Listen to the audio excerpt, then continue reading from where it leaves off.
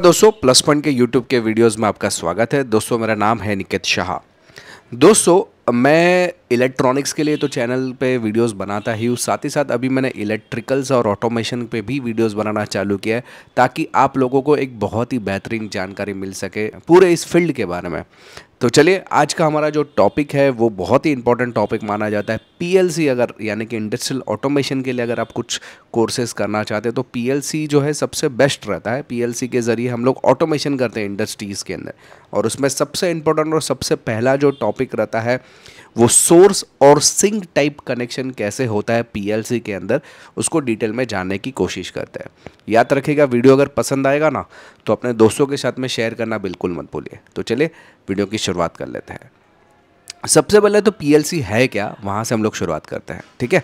PLC जो रहता है, उसको बोलते हैं प्रोग्रामेबल लॉजिक कंट्रोल एक रहता है एक आरएलसी आरएलसी जो पीएलसी के पहले आपको सीखना पड़ता है, उसके बाद में पी पीएलसी आई आरएलसी मैंने रिले लॉजिक कंट्रोल रिले के ज़रिए हम लोग कुछ ऑटोमेशन सर्किट बनाते हैं इंडस्ट्री के लिए, उसको आरएलसी बोला जाता है। वही चीज़ को अगर मैं प्रोग्रामिंग के ऊपर बेसिस पे कर दूँ, यानी कि सब कुछ ऑटोमेटिक होना चाहिए, कम चीज़ों में, ज़्यादा से ज़्यादा काम होना चाहिए तो उसको बोलते हैं प्रोग्रामेबल लॉजिक कंट्रोल ठीक है? तो बेसिकली इसका एक कंप्यूटर का यूज़ करके पूरे इंडस्ट्री को एक ऑटोमेटिक कर देना है। या कुछ चीज़ें, जैसे कि मुझे प्रोडक्शन लाइन पूरा ऑटोमेटिक कर देना है। मैन्युफैक्चरिंग लाइन पूरा ऑटोमेटिक करना है। मेरे कोई आदमी की ज़रूरत नहीं पड़नी चाहिए। तो ये पीएलसी के ज़रिए मुमकिन है। तो पी इसलिए काफ़ी इंपॉर्टेंट माना जाता है इंडस्ट्रियल के लिए। अगर आप लोग पीएलसी वगैरह सीख लेते हो तो लगभग आपको स्टार्टिंग सैलरी पर मंथ पचास से साठ हज़ार रुपये मिल जाती है। तो इतना करियर अपॉर्चुनिटी है पीएलसी के अंदर। चलिए, आगे बढ़ते हैं हमारे मेन टॉपिक के ऊपर। लेकिन सबसे पहले तो मैं बता दूँ प्रोग्रामिंग लॉजिक कंट्रोल तो आप बोलेंगे, सर, कौन सा प्रोग्रामिंग हम लोग यूज़ करें? बराबर है ना? यहाँ से आपको कन्फ्यूज़न पैदा होता है। तो सबसे पहले वो कन्फ्यूज़न को क्लियर कर दे। पीएलसी जो प्रोग्रामिंग है, वो आमतौर पर जो हम लोग यूज़ करते हैं, वो लेडर लॉजिक रहता है। ये इंडिया में ज़्यादातर लेडर लॉजिक ही यूज़ होता है। इसके अलावा एस एफ़ सी यूज़ होता है, यानी कि sequential function chart generally U S वगैरह में आपको एफ़ एस सी यूज़ किया जाता है।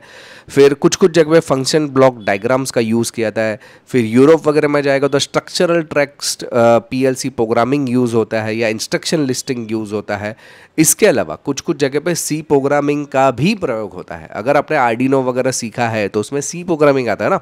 तो ये यूज़ करके भी पी एल सी में प्रोग्रामिंग किया जाता है येस लेकिन ज़्यादातर केसेस में इंडिया में जो चलता है, वो लेटर लॉजिक ही चलता है। ठीक है? तो चलिए, अभी आगे बढ़ते हैं, इतना तो समझ में आ गया। अगर पीएलसी की बात कर ही रहा हो तो थोड़ा सा उसको और डिटेल दे दूँ कि पीएलसी को है ना, तीन हिस्सों में बांटा गया है। एक उसका कंट्रोल यूनिट रहता है, जहाँ से हम लोग उसको प्रोग्राम कर सकते हैं या कंट्रोल कर सकते हैं। एक रहता है उसका इनपुट सेक्शन जहाँ पे हम लोग कुछ इनपुट उसको सिग्नल दे सकते हैं। जैसे कि सेंसर्स के ज़रिए या समझो थर्मल के ज़रिए या समझो बटन्स के ज़रिए। कुछ मैं लॉजिक इनपुट दूँगा उसका आउटपुट जो रहेगा, वो आउटपुट मॉडल के ज़रिए असाइन हो मतलब मोटर चालू हो जाएगा या अलार्म चालू हो जाएगा सो एंड सो कुछ भी चीज़ जो हम लोग चालू करवा सकते हैं इनपुट सिग्नल के ज़रिए तो इस तरह से तीन हिस्सों में उसको बांटा जाता है। तो इसका कुल मिला के जो पोर्शन है, वो ऐसा है कि एक जो हमारा मेन पोर्शन रहता है, जिसमें सीपीयू लगा हुआ रहता है, उसकी खुद की मेमोरी रहता है प्रोग्रामिंग रहता है डेटा रहता है, जो कि हम लोग को एक कंप्यूटर के ज़रिए प्रोग्राम करना पड़ता है।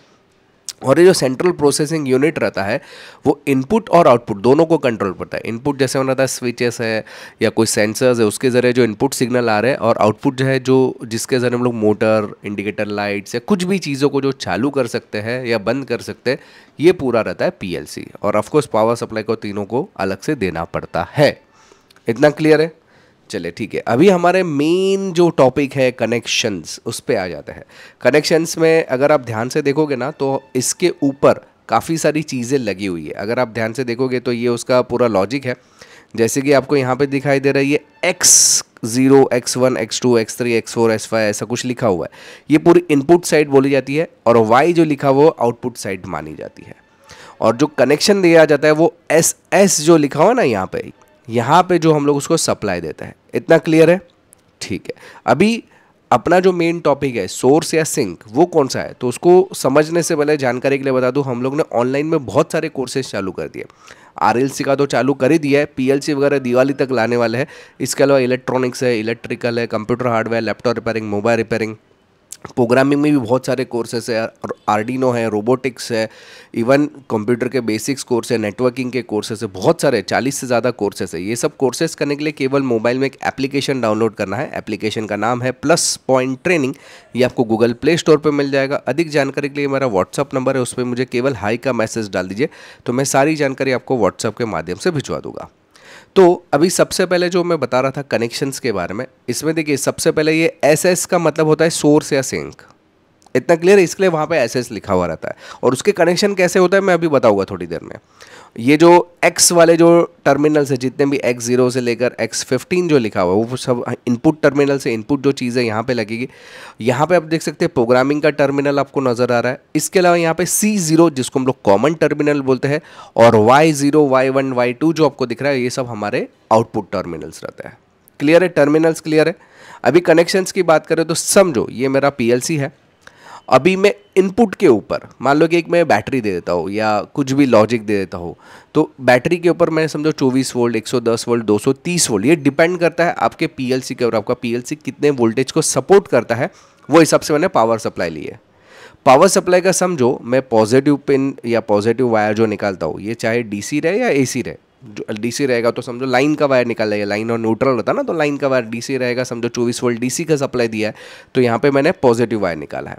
फिर यहाँ पे एक एनो स्विच बटन दबा देता, लगा देता हूँ और इसका कनेक्शन मैं एक्स ज़ीरो के साथ में कर देता हूँ। कहाँ पे? इनपुट टर्मिनल पे एक्स ज़ीरो पे, ठीक है?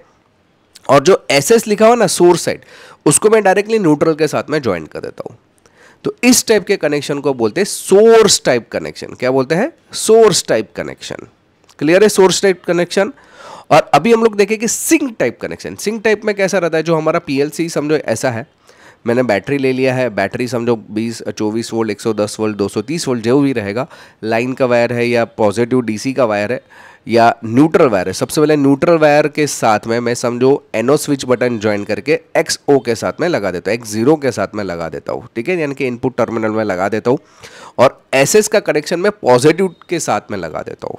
समझ में आ रही है? ये नेगेटिव को यहाँ पे लगाया और यहाँ पे पॉजिटिव को लगाया, जैसे कि यहाँ पे उल्टा मतलब पहले कैसा था सोर्स में यहाँ पे पॉजिटिव था और एस एस में नेगेटिव था। और यहाँ पे क्या है? एस एस में पॉजिटिव है और यहाँ पे नेगेटिव वायर है। तो इस कनेक्शन को बोलते हैं सिंक टाइप कनेक्शन इतना समझ में आया? तो या पीएलसी का दो टाइप के कनेक्शन हो सकते हैं सोर्स साइड या सिंक्स टाइप समझ में आई बात? सोर्स टाइप या सिंक टाइप तो इन कनेक्शंस को बहुत ही इंपॉर्टेंट माना जाता है पीएलसी के अंदर। याद रखेगा, ये वीडियो बहुत ही इंपॉर्टेंट वीडियो है जो लोग पीएलसी सीखना चाहते हैं या जो सीख रहे हैं या आगे सीखना चाहते हैं, जिनका आगे ऑटोमेशन में जाने का नज़रिया है इंडस्ट्रियल ऑटोमेशन के लिए तो सबसे इंपॉर्टेंट टॉपिक माना जाता है। आई होप कि दोस्तों ये वीडियो आपको पसंद आया रहेगा। याद रखेगा वीडियो अगर पसंद आया तो अपने दोस्तों के साथ में शेयर करना बिल्कुल मत भूलिए। और हमारे जो कोर्सेज करने हैं R L C P L C वगैरह के बहुत सारे कोर्सेज अगर आपको करने हैं, चालीस से ज़्यादा कोर्सेज है तो हमारा एप्लीकेशन है प्लस पॉइंट ट्रेनिंग नाम का। ये एप्लीकेशन आपको गूगल प्ले स्टोर पर मिल जाएगा। आईओएस के लिए भी है वेबसाइट भी है, यानी कि लैपटॉप या कंप्यूटर के ज़रिए भी कर सकते हो। अधिक जानकारी के लिए मेरा व्हाट्सअप नंबर है। इसमें मुझे केवल हाई का मैसेज डाल दीजिए तो मैं सारी जानकारी आपको व्हाट्सअप के माध्यम से भिजा दूँगा। आई होप कि दोस्तों ये वीडियो आपको पसंद आया रहेगा। याद रखेगा पसंद आया तो अपने दोस्तों के साथ में शेयर करना बिल्कुल मत बोले अगर आप नए हैं चैनल के ऊपर तो सब्सक्राइब का बटन दबा के बेल का आइकॉन दबा दीजिए, ताकि मेरे जो भी नए वीडियोज़ आएगा, उसका नोटिफिकेशन आपको जल्द से जल्द मिल जाए। चलिए इस वीडियो में इतना ही। Thanks for listening